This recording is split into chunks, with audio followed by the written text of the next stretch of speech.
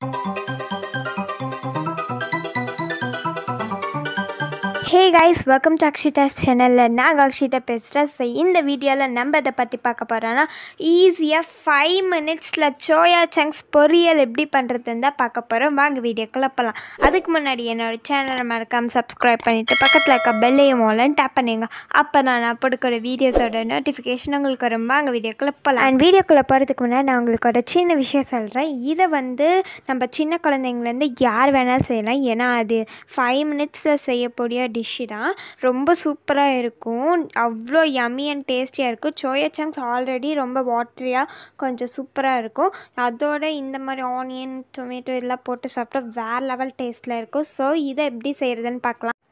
Soya chunks பொரியல் பண்ணுறதுக்கு four table spoon oil add பண்ணிக்கோங்க. நான்ஸ்டிக் பேனில் நீங்கள் நான்ஸ்டிக் பேன் எடுத்துக்கோங்க. பொரியல் பண்ணுறதுக்கு அதுதான் பெஸ்ட்டாக இருக்கும். ஸோ இப்போ நாலு டேபிள் ஸ்பூன் ஆட் பண்ணோடனே கடுகு கொஞ்சமாக ஆட் பண்ணிக்கோங்க. இப்போ கடுகு ஆட் பண்ணியாச்சு. அதுக்கப்புறம் இதை வந்து நல்லா நம்ம ஃப்ரை பண்ணிக்கலாம். ஒரு தாட்டி இப்படி ஃப்ரை பண்ணிடு அடுத்தது one big size of onion வந்து நான் ஆட் பண்ணிக்கிறேன் இதில். இதை வந்து கோல்டன் ப்ரௌன் ஆகிற வரைக்கும் நம்ம மிக்ஸ் பண்ணிக்கிட்டே இருக்கலாம். அப்போ தான் ரொம்ப சூப்பராக யம்மியாக வரும். ஸோ ஓகே இப்போ இதை கோல்டன் ப்ரௌன் ஆகிறதுக்கு கொஞ்ச நேரம் முன்னாடி நான் வந்து கொஞ்சமாக சால்ட் ஆட் பண்ணிக்கிறேன். அப்போ தான் கொஞ்சம் கோல்டன் ப்ரௌன் இன்னும் கொஞ்சம் சீக்கிரமாக ஆகணும். ஸோ அதனால் நான் இப்போ சால்ட் சால்ட் ஆட் பண்ணி நல்லா ஃப்ரை பண்ணிக்கிறேன். ஸோ இந்த மாதிரி ஸ்டேஜில் நீங்கள் அந்த சால்ட் ஆட் பண்ணிக்கோங்க.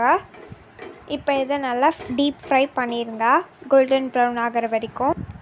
அண்ட் இப்போ வந்து கோல்டன் ப்ரௌன் பாதி ஆயிடுச்சு. இந்த ஸ்டேஜில் நம்ம வந்து டொமேட்டோ ஆட் பண்ணிடலாம். இப்போ டொமேட்டோ ஆட் பண்ணியாச்சு. நல்லா மிக்ஸ் பண்ணுங்க அதை. நல்லாவே மிக்ஸ் பண்ணிடுங்க. இது ரெண்டும் நல்லா கொஞ்ச நேரத்துக்கு நல்லா குக் ஆகட்டும். ஸோ இப்படி கைவிடாமல் மிக்ஸ் பண்ணிக்கிட்டே இருங்க. அண்ட் இப்போ வந்து பார்த்திங்கன்னா நம்ம ஆனியன் அண்ட் டொமேட்டோ ரொம்ப நல்லாவே குக் ஆகிருக்கு இந்த ஸ்டேஜில் நீங்கள் என்ன பண்ணுறீங்கன்னா இப்போ நம்ம இதில் கொஞ்சமாக கறி மசால் தூள் அப்புறம் சில்லி பவுடர் அப்புறம் சால்ட் ஆட் பண்ணிக்கலாம். கறி மசால் தூள் வந்து ஹாஃப் டேபிள் ஸ்பூன் சில்லி பவுடரும் ஹாஃப் டேபிள் ஸ்பூன் அண்டு லாஸ்ட்டாக சால்ட் வந்து உங்களுக்கு ரெக்வயர்டு தான்.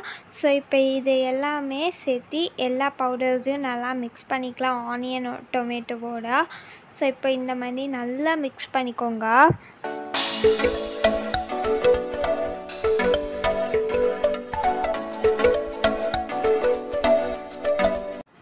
இப்போ இது எல்லாமே நல்லாவே குக் ஆயிடுச்சு. இந்த ஸ்டேஜில் நம்ம சோயா சங்க்ஸை ஆட் பண்ணிடலாம் இதில்.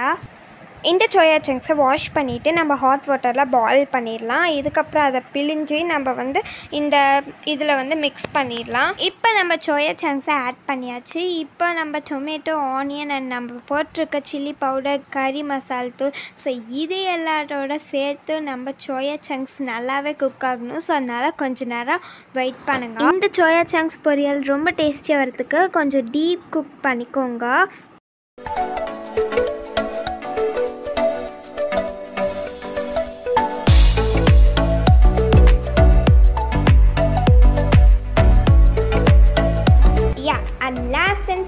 ஃபைனலாக நம்ம கார்னிஷிங்காக கொரியாண்டர் லீவ்ஸ் ஆட் பண்ணிடலாம்.